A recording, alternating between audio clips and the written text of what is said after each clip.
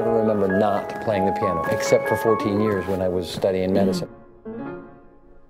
I sell advertising. I'm a retired architect.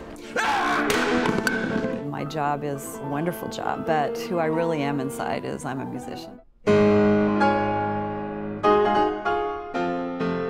Turns out there's these competitions for people over the age of 35 to go and play. I don't think there's another competition like it in the world.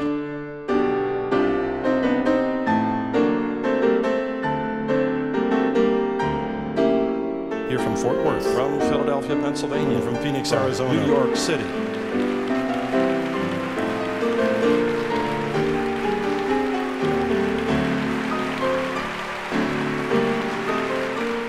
First rule in the competition is to try to win.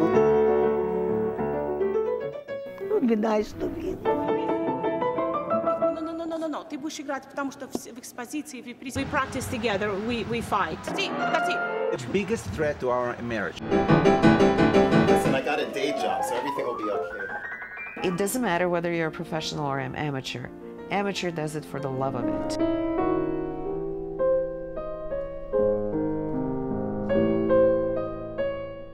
Audience goes and listens because they love it. And it's that shared love. and that's that common space where we find each other, and that's what's most important.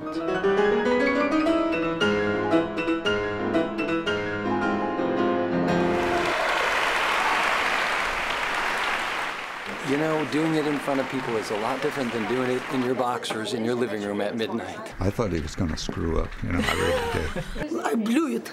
If you can earn million dollars by any other way but music, Бассы, там, где возвращаешься ты в репризе. do it.